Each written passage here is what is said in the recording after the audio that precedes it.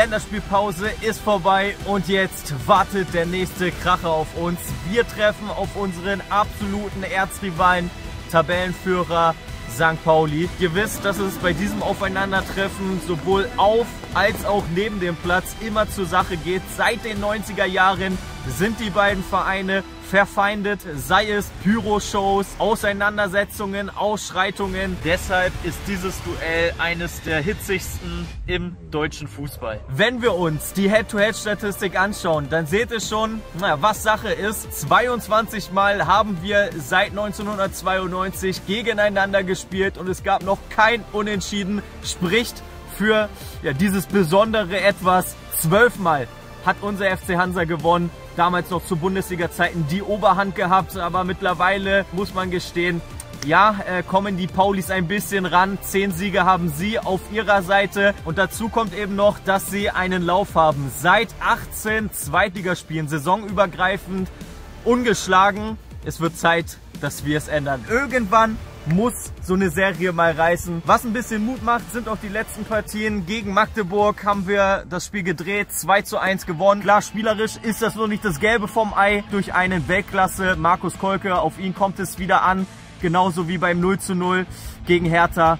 Es wird eine richtig schwierige Aufgabe. Falls ihr euch fragt, was ich so in der Länderspielpause gemacht habe, ich bin mal wieder an einem sehr, sehr schönen Ort gewesen, den ihr alle kennt. Einer der beliebtesten Urlaubsorte Deutschlands. Wo genau ich war, seht ihr jetzt. In Warnemünde und ich habe Hunger, will was Gutes essen. Was genau es sein wird, werdet ihr gleich sehen. Nicht das beste Wetter, trotzdem immer stabil hier zu sein.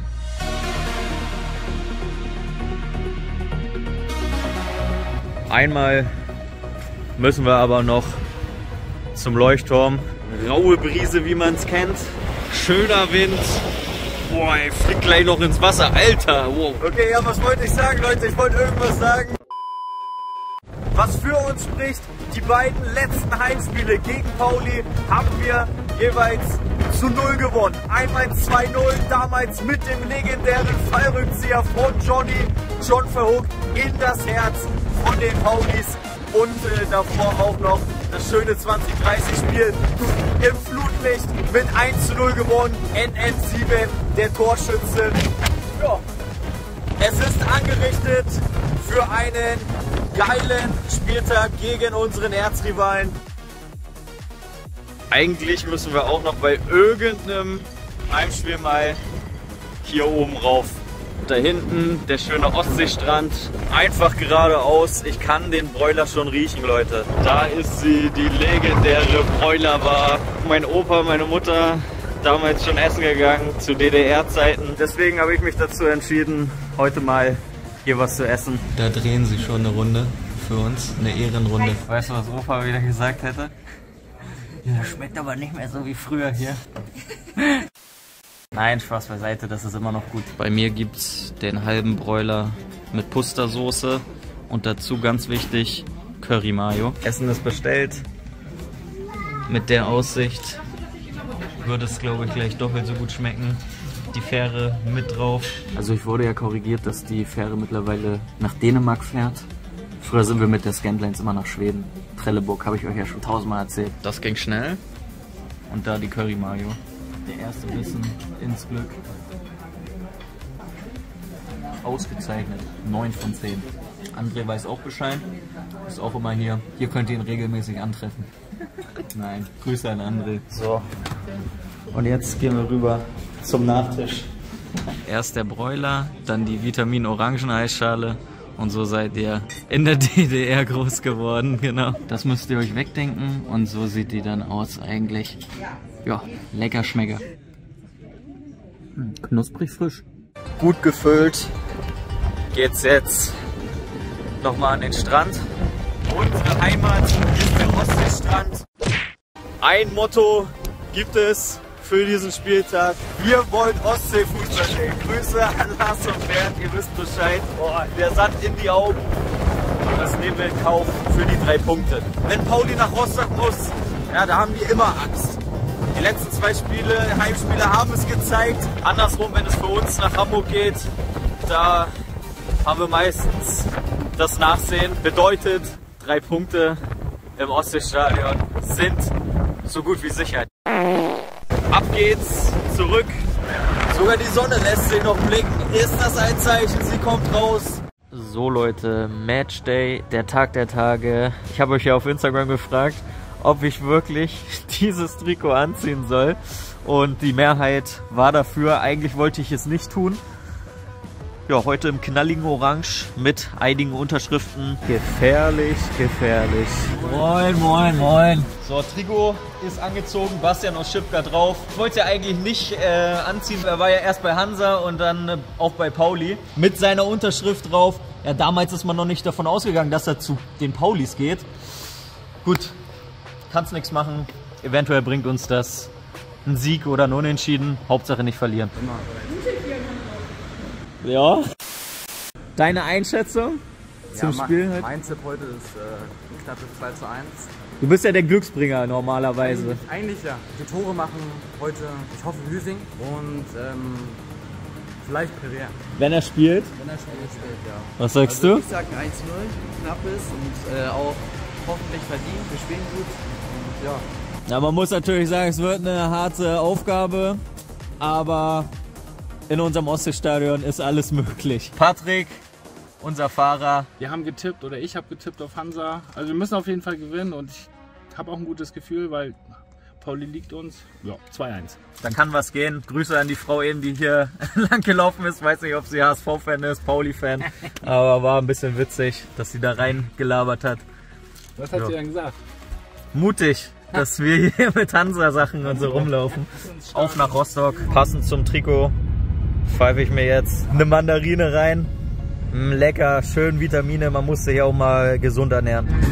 Weihnachtliche Stimmung. Mhm. Vor uns gerade ein Bus mit Polizeischutz. Wir munkeln gerade, ist das die Mannschaft auf Undercover von den Paulis oder da sind es die Fans?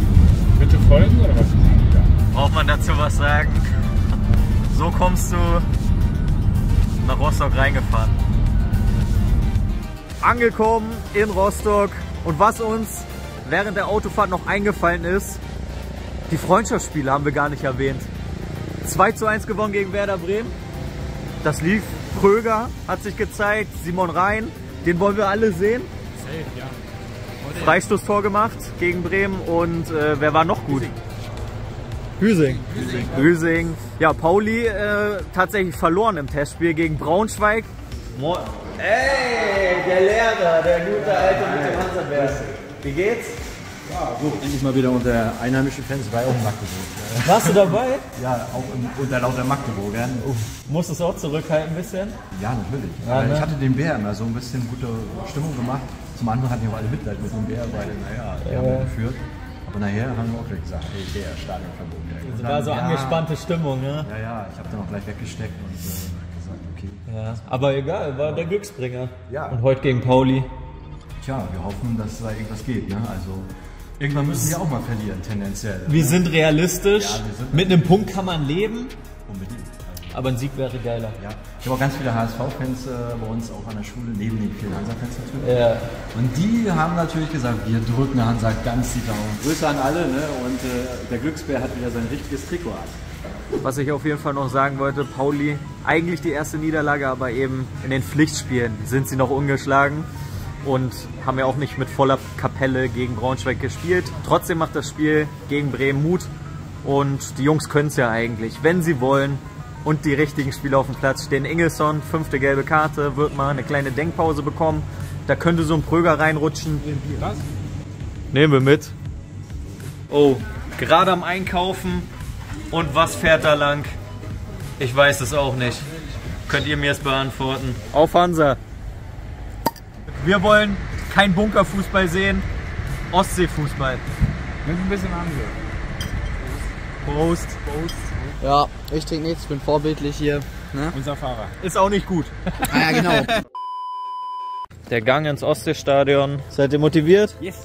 Mit breiter Brust. Gleich geschafft. Da hinten füllt sich so ein bisschen. Der Rauch steigt empor.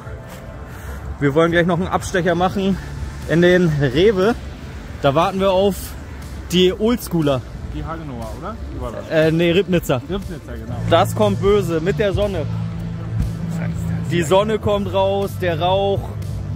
Oh. Hey, hey, hey, hey, Moin. Hallo, Seppi. Ach, bist du gar nicht mit Antje heute? Nee, Warte, das geht das so, ja, ne? Max, moin.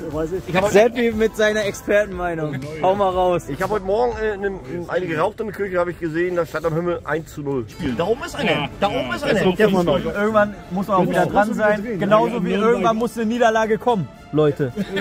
Also für Pauli. Richtig. Es kann ja nicht sein, dass die können doch nicht ungeschlagen bleiben. Ich habe gesagt, die Ja? sind dran. Und die, Die sind dann, fällig. Die sind fällig. Die wissen gar nicht, dass das heute in Rostock Die passiert. haben St. Pauli gewonnen. Beide 20, 30 Spiele. Weihnachtlich schon eingestimmt. Harry weiß Bescheid. Wir wollen jetzt noch ein bisschen was besorgen. Ja. Stimmung ist noch gut. Ja, sehr gut. Sehr gut. So meine eine Dose, tja, die, die bewährt sich. Muss man dann auch machen, ne? Wer den Penny nicht ehrt. Ja, der ist das Geld ist nicht wert. Hier ist die Hansa-Dose. Ich dachte, die wäre leer, die hätten wir auch gleich noch abgeben können. Dann hätten wir 50 Cent. Nein, die kannst du ja nicht abgeben wegen Hansa. Kann ich auch nicht mitnehmen. Seppi, hier. Für dich. Seppi hat heute einen guten Tag ausgegeben. Unentschieden, okay. Beste Defensive der Liga, Pauli Platz 1. Ich bin mir schon wieder ein bisschen verunsichert jetzt. Und äh, wenn wir schon bei der Tabelle sind, unser FC Hansa auf 13. Wir könnten einen ordentlichen Sprung machen mit 16 Punkten. Sollten wir ein bisschen was Zählbares mitnehmen. Platz 17, 18 ist noch in weiter Ferne und das wäre gut, wenn da ein paar Punkte dazukommen. Pauli, wie gesagt, ja, auf 1, 27 Punkte, ungeschlagen. Harry führt uns zum Sieg und äh, er kennt den Weg. Also wenn das heute klappt, Harry, dann laufen wir jetzt immer hier lang. Ja, da, da müssen wir echt sehr lang. Halbe Stündchen noch. Wollen wir noch Grüße schicken nach Hamburg an die schwer arbeitende Bevölkerung? Felix, Stefan, Alvin, die sind gerade Black Friday beschäftigt. Wir gewinnen für euch mit. Du bist ja der Ausbilder von den Jungs, ne? Ja, genau. Also, Grüße und für euch holen wir die drei Punkte. Ja, genau. Ja, 27.000, ausverkauftes Haus. Nee. Das kann dauern. Es wird ein Kampf. Wir stehen noch hier. Zehn Minuten noch. Wir haben ein bisschen Angst, dass wir doch nicht die Ausstellung und den Anpfiff mitbekommen. Einfach Sieg statt Hymne. Sieg statt Hymne. Wir sind schon drin. Seppi und Co. sind noch draußen. Ausstellung verpasst. Die Hauptsache ist Hansa Forever mitbekommen. Dein Tipp heute? 2-0. Hadi, wie geht's? Heute, heute ist St. Pauli fällig. Hier spielt man noch Fußball mit Herz und nicht nur mit den Beinen. Ob in Freude oder im Schmerz. Wir wollen Hansa und sonst keinen. Hansa forever und für die Ewigkeit. Für immer und ewig und auch bei Windstärke 10. Wir halten zusammen, wir werden nicht untergehen.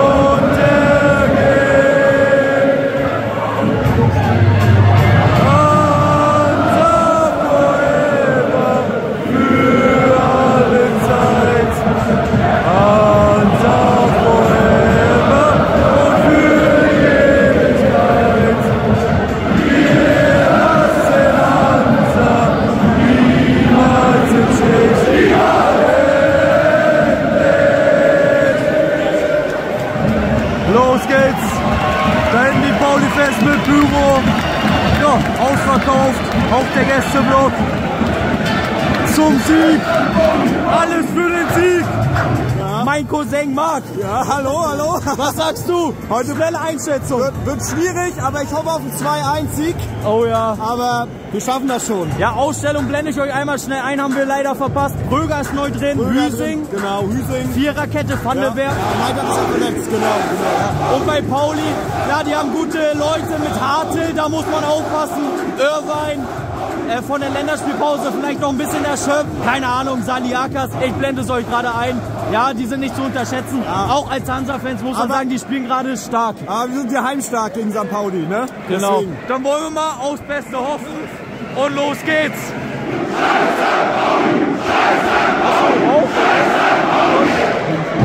Oh ja. Ja, ist noch, ist noch. Ich sehe nichts, Leute. Oh, da sind die hier, die Legenden. Jochen,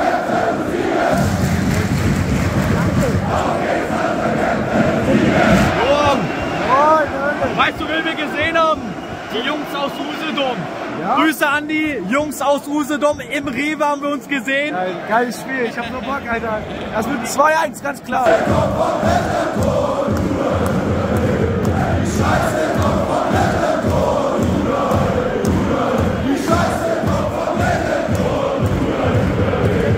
Seppi hat's geschafft.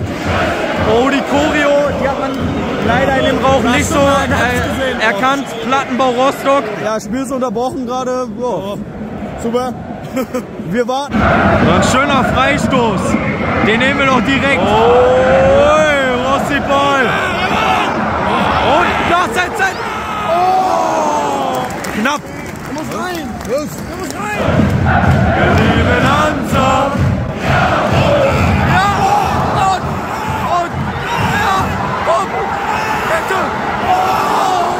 Das kann doch nicht sein. Elfer. Elfer. Elfer. Ganz ruhig, der muss erst mal rein. Shalom.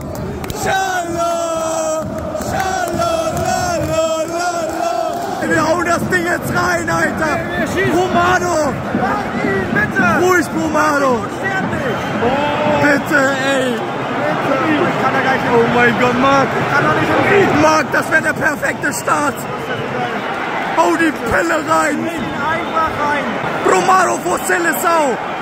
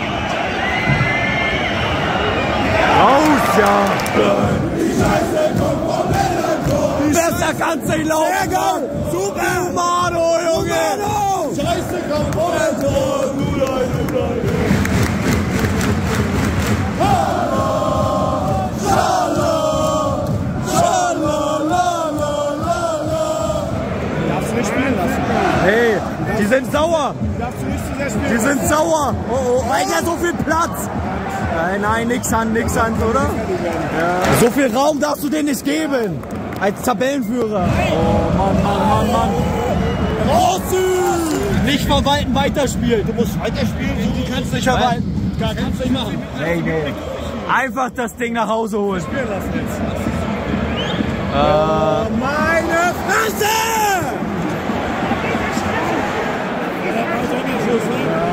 Sonntagsschuss. Warum geht da keiner rauf? Keiner rauf geht, Mann. Das kannst du keinem erzählen, Leute. Unnötig. Ich verstehe das auch nicht. Warum gehen die Sechser nicht mal ordentlich rauf? Es kann doch auch nicht sein, dass wir immer so schnell diese Führungen vergeben und nicht halten. Ey, und das ist Und es geht weiter. Das ist so schlecht! Das ist so schlecht! Keiner geht rauf.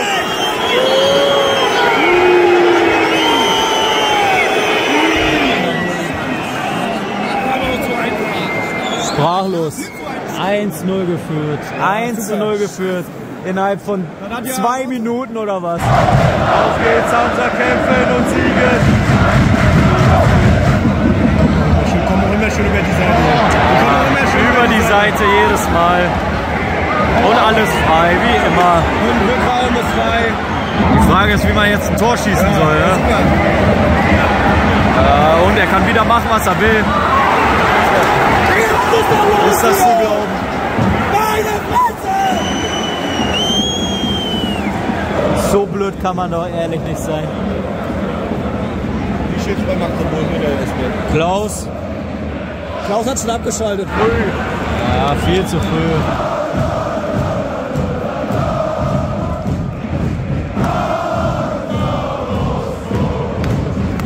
Natürlich jetzt absolut belastend. Drei Gegentore, gefühlt nach drei Torschüssen. Was soll das werden noch? Wenn ihr für Hansa seid. Völlig von der Rolle. Ja, völlig. Komplett, komplett verunsichert. Und wieder Rückraum. Ja, na klar. 100 Prozent, ihr muss wechseln. Anders, anders geht das nicht. Und vielleicht mal eine Möglichkeit. Ruhig spielen. Rossipal, du hast doch Zeit.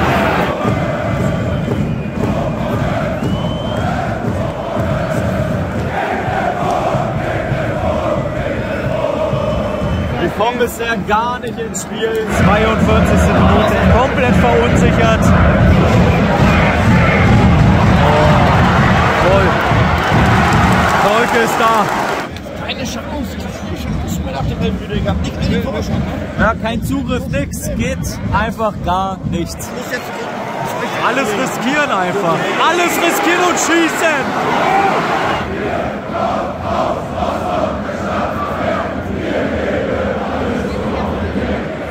Alter. Immer am Ball durch. Guck mal, wie hoch die Verteidiger stehen. Ja, Die wissen genau, wie einfach da das geht eh ist. nichts. Da geht eh nichts. Irgendwas geht gerade hinterm Stadion ab. Tja, Halbzeit. Da muss man sich hinterfragen, wie man nach einer Einzelführung drei Dinger direkt frisst, hinten komplett unsicher ist und ja, eine verdiente Führung. Einfach schwach. Moin Jungs, schöne Grüße an Hansa-Fans aus Altenburg. Denkst du, das war's schon? Ja, wenn, wenn er jetzt nicht wechselt, denke ich mal, setzen, ja. ich denke mal, wenn, wenn er das Ding jetzt, wenn er jetzt nicht wechselt, gehen wir 4-5-1 hier unter. Ansonsten muss er jetzt ein Zeichen setzen, drei Wechsel machen. Dann hoffe ich mal auf ein 3-3. Hier nicht die Packung. Hauptsache, wir kriegen nicht die Packung. Max 3-3, ich weiß nicht, 3-3, Max. wir hoffen auf 3-3. 3-3 irgendwie. Bitte, bitte, bitte. Wir können uns das bitte, nicht erklären. Bitte, bitte, 3-3. Wunder gibt's immer wieder, aber Eben. Und wenn du das nächste Mal sagst, dass ich Urlaub in den Philippinen mache, dann kriegst du einen. ah, du bist da. Also man sieht das ja, dass St. Pauli Erster ist und dass wir 14. sind. Würdest du sagen, Klassenunterschied gerade? Ja, hundertprozentig. Leider. Aber die Hoffnung stirbt zuletzt. Mein Tipp ist 3-3. Schaffen wir noch irgendwie? Ja, 3-3 Komm. Und wenn nicht, dann gewinnen wir das nächste Spiel wieder, ne? gegen Karlsruhe. So, die zweite Hälfte geht weiter. Was sagst du? Man führt halt 1-0 und dann geht es halt so weiter. Also, Und die spielen auch gar kein Fußball mehr. Muss sich was ändern, ne? Ja. Hat er nicht Er, ausgewechselt? er hat nicht einen Wechsel gemacht, also ich weiß nicht, keine Ahnung. Ich weiß nicht, sehen wir ein anderes Spiel als der Trainer? Ich habe keine Ahnung. Und wieder die Außen. Über den Außen, da geht heute alles.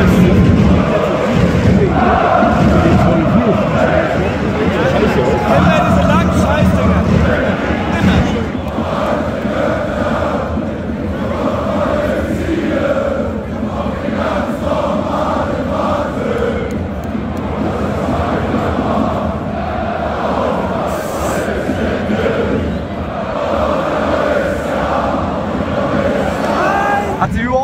geändert. Genau das gleiche Spiel wie in Halbzeit 1.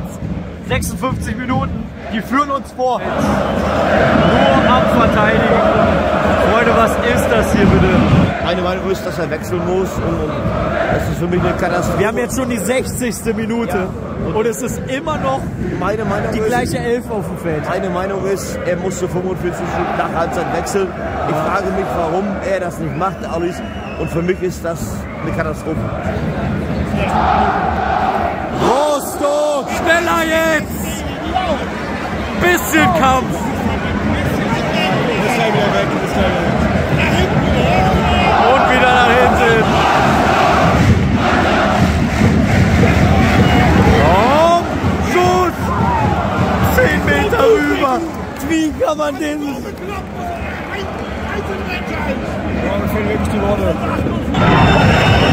Guck dir das an, er kann 10 Jahre da hinten einfach rumstehen mit dem Ball und keiner geht rauf. Die stehen hier rum, als ob sie mit dem 3-1 zufrieden sind. Nach 64 Minuten. Erste Wechsel. Nach 65 Minuten.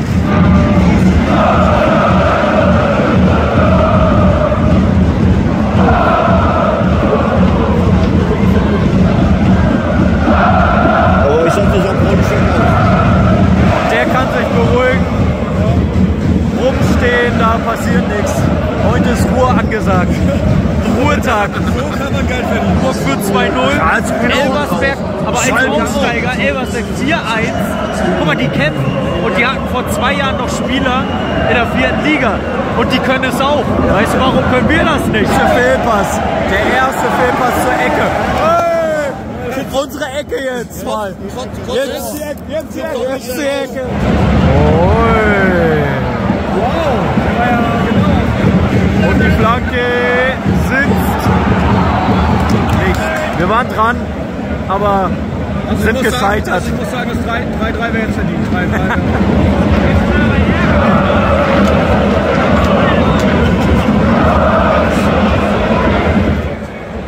Und jetzt geht's mal vielleicht. Und jetzt geht's mal. Und der Versuch zählt. Ein Tor und es ist Feuer drin. Ein Tor und es ist Feuer drin. Komm! Und Perea. Aber sie spielen zu wenig zumindest mal. Du setzt ja den Kopf voll hin. Vielleicht schaffen wir noch den Anschluss und dann kann man hoffen, aber Anschluss muss ja irgendwann mal kommen, ne? ja, jetzt oder nie. Gleich ist die Zeit vorbei.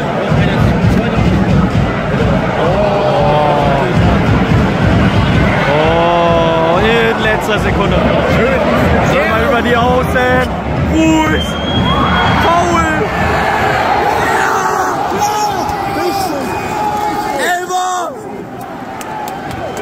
Seppi.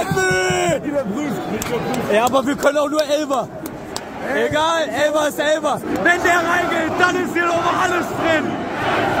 Oh, auf geht's, unser schießt ein Tor. Schießt ein Tor. Schießt ein Tor. Romano hat es auf dem Fuß. Seppi, komm. Wer ist denn jetzt? Da geht doch Komm was. jetzt. Da geht doch was. Komm jetzt. Da geht doch was von. Mach ihn. Und wir rasten aus. Romano. Ich sehe dann zum Ball. Oh.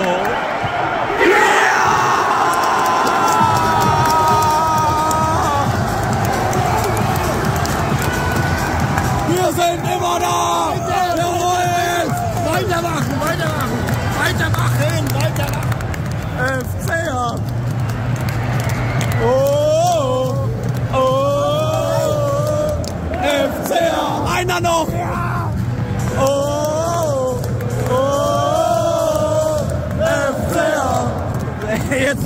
Vor! Egal, 80. Mark, dran glauben jetzt. Ey, keine Ahnung, so unverdient die Scheiße, aber wir machen das jetzt. Bumado! Bumado! Bumado! Weißt du, was fehlt? Ein dritter Elfer. Jetzt voll, also, volle Offensivkraft. Aber Alles nach vorne. Pass mal auf jetzt! Die schwimmen jetzt! Perea, geh! Muss, muss einer stehen! vor, er hat den Ball zu, zu weit vorgelegt. Ab geht's! Ab geht die Party! Ab geht die Party, Perea! Jawohl! Ruhig! Ja! Ah! Ah!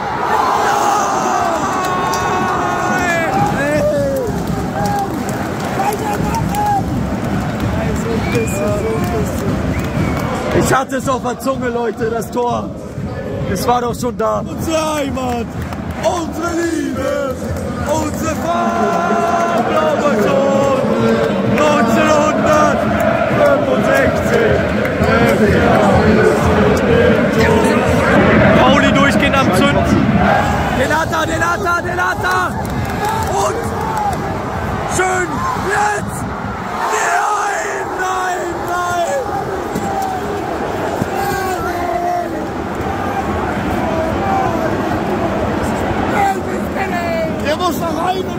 Das war's.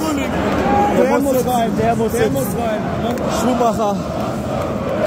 Schumacher macht den mit dem der muss viel Ball die ganze Zeit. Der muss Schumacher mit Ausriss machen. ne? Dreht er sich an. Jetzt ne? so viel Zeit da. Minuten. Genug Zeit, genug Zeit. Und ab, und ab. Sing. Ja, genau, sieht er, sieht er, sieht er. Die Flanke. Zu weit. Kolke nach vorne. Die letzte Chance, das wird sie sein. Auf geht's, Hansa schießt ein Tor. Schießt ein Tor. Schießt ein Tor. Den muss er doch lang spielen. Was machst du denn? Egal, ist gut, ist gut. Ist gut. Der ist Wolke. Und.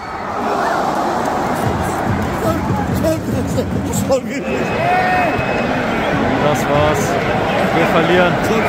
3 zu 2. Warum geht's nach dem Elfer? Mit dem Kampf kann ich euch nicht erklären. Mach's ja. gut. Hau rein, wir sehen uns. Deine abschließenden Worte? Ja, wenn man erst ab der 70. Minute anfängt, Fußball zu spielen, ne? Nach so dem sah Elfer, ja gut nach aus. dem zweiten? Sah gut ja, aus. danach war es gut, ja. aber davor war es katastrophal. 10 Minuten reichen mir nicht. Nee. Ja, gucken wir mal, was nächste Woche in Karlsruhe so geht.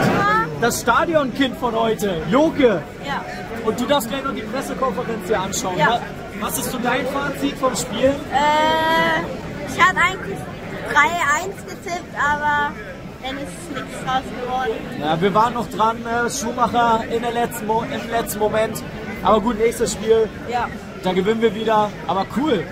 Und wie war das Erlebnis so auf dem Feld? Gut. Hat Spaß gemacht? Wir sehen uns ne? gegen Schalke. Bist wieder dabei. Ja. Stark. Kann auch sein, dass ich auf der Nord bin.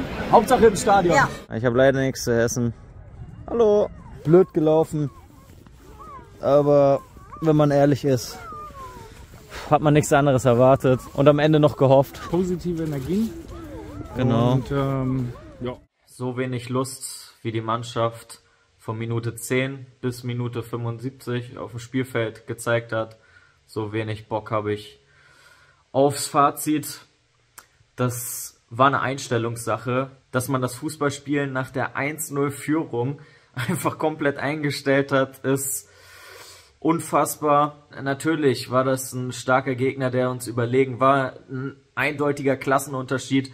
Wir hätten uns nicht beschweren dürfen, wenn es zur Pause 4-5-1 steht und nach der Pause dann ohne Wechsel reinzugehen, wo man eigentlich gesehen hat, dass überhaupt nichts zusammenläuft, keine Pässe ankommen, man hätte sich viel schlauer anstellen müssen, hatte die Führung. Gut, wenn du in der Pressekonferenz sagst, dass es ein ganz normales Zweitligaspiel ist, ist es nicht gegen Pauli, dann ja, kann man sich vorstellen, wie der Trainer die Mannschaft eingestellt hat. Eigentlich muss es von jedem Spieler selber kommen, dass das für die Fans was ganz Besonderes ist und dann sowas abzuliefern, fragwürdig. Ab der 75. Minute lief es dann besser, aber auch nur, weil Pauli abgewartet hat und uns kommen lassen hat. Immer nur ein paar Minuten, wo man sich voll reinhängt. Das musste über 90 Minuten bringen. Keinen einzigen Gegner konnten wir bisher in die Schranken weisen, spielerisch den Verein unterlegen und ich habe ein bisschen Angst, was da so in den kommenden Wochen passiert. Karlsruhe wartet nächste Woche, die sind genauso unten drin. Schalke, richtungsweisende Begegnungen. Ganz ehrlich, ich sehe uns aktuell leistungstechnisch auf dem 16. Tabellenplatz. Und diese zwei Riesenchancen, einmal Bromado, Schumacher, eine muss doch einfach nur sitzen und dann hätten wir noch das Unmögliche möglich gemacht. Fehlt halt dann auch irgendwie die Konsequenz vorm Tor. Mehr will ich gar nicht mehr sagen. Pauli verdient gewonnen und wir müssen uns überlegen, wie es weitergeht. Mit dem Trainer, ohne den Trainer. Warten wir ab äh, bis zur Winterpause, was dann in den nächsten Spielen noch Zählbares rumkommt und wir vielleicht mal ein bisschen mehr Fußball sehen. Danke trotzdem an jeden, der sich das Video gegeben hat für einen Daumen nach oben. Haut gerne alles unten in die Kommentare. Eure Einschätzung. Wo seht ihr unseren FC Hansa gerade?